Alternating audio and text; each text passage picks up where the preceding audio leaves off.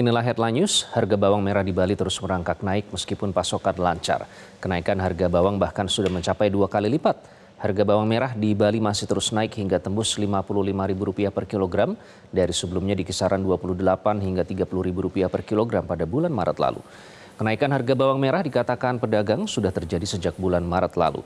Dari yang sebelumnya dipasarkan Rp28.000 hingga Rp30.000 per kilogram, kini tembus Rp55.000 per kilogram atau naik hampir 100 persen. Tidak diketahui pasti apa penyebab komoditas bawang merah naik, mengingat pasokan bawang merah lokal dan dari sejumlah wilayah di luar Bali lancar. Tidak ada kelangkaan bawang merah, namun harga terus merangkak naik. Lalu bagaimana dengan harga bawang merah di Bandung, Jawa Barat? Apakah mengalami kenaikan serupa? Kami ajak Anda bergabung bersama jurnalis Metro TV Sabago Visesa. Sabago, bagaimana pantauan harga bawang merah di pasar tradisional di Bandung pada hari ini? Ya, selamat pagi Iqbal dan juga pemirsa. Harga bawang merah di Pasar Kosambi Kota Bandung memang cukup tinggi di kisaran harga 70.000 hingga 75.000 per kilogramnya. Hal ini dikarenakan e, pasokan sendiri berkurang menurut para pedagang. Mereka sangat kurang untuk mendapat pasokan dari pemasoknya.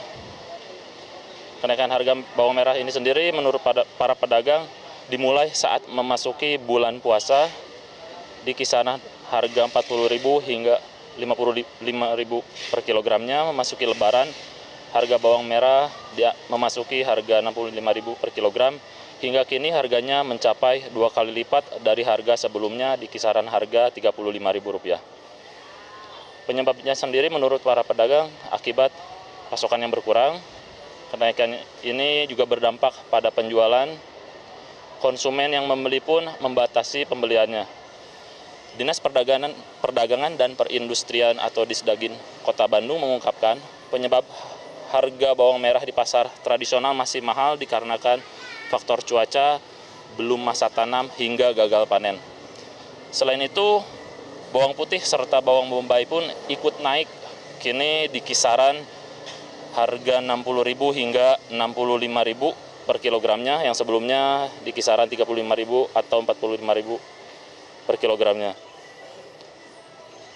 Selain itu, harga gula pasir pun merangkak naik di pasar tradisional Kota Bandung hingga menembus harga 19.000 per kilogramnya, sedangkan di toko modern berkisar 17.500 per kilogramnya.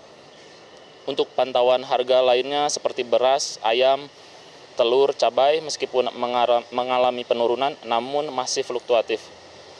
Dan memang baik para pedagang dan pembeli berharap pemerintah dapat menstabilkan kembali harga bawang dan se dan sejumlah komoditas lainnya agar masyarakat bisa membeli dengan harga terjangkau. Untuk sementara demikian yang dapat kami sampaikan kembali ke Anda di studio Iqbal. Baik, terima kasih Sabago Visesa melaporkan langsung dari Bandung, Jawa Barat.